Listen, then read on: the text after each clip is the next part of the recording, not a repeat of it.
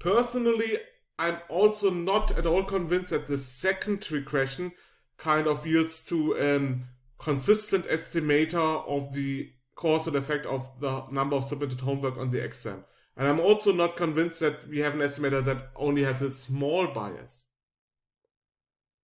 The main problem is that in order to consistently estimate a causal effect, we need a clear source of exogenous variation in our explanatory variable of interest.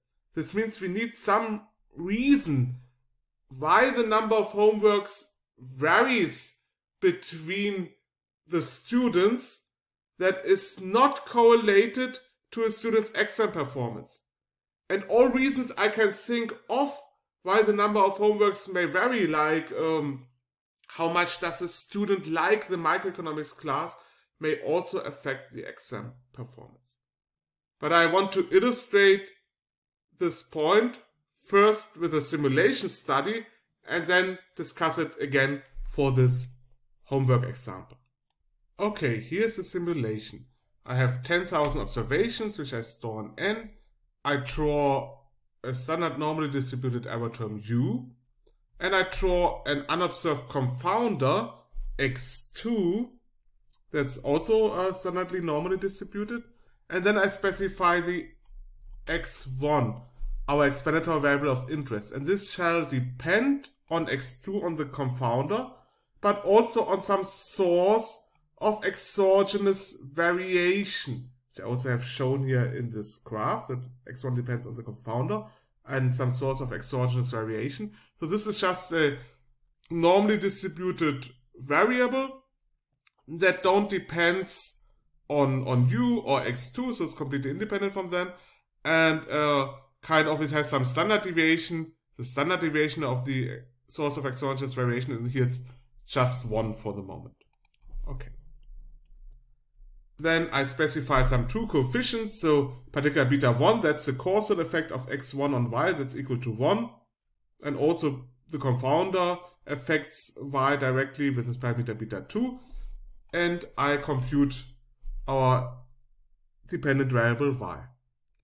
Now if I just estimate a short regression, so if I omit x2 from this linear regression, then we get a biased estimator of the true causal effect. So we estimate a, coefficient of 1.5 roughly.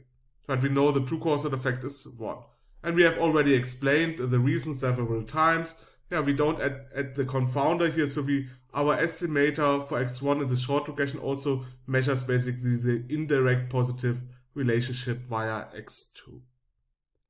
If I would observe x2, the confounder. I could just add it to my linear regression. So I add, estimate here basically the long regression where I add x2 and then I get an unbiased estimator uh, for the causal effect beta 1. So here we see the coefficient in front of x1 is almost 1. So we always have some random noise, but um, um, uh,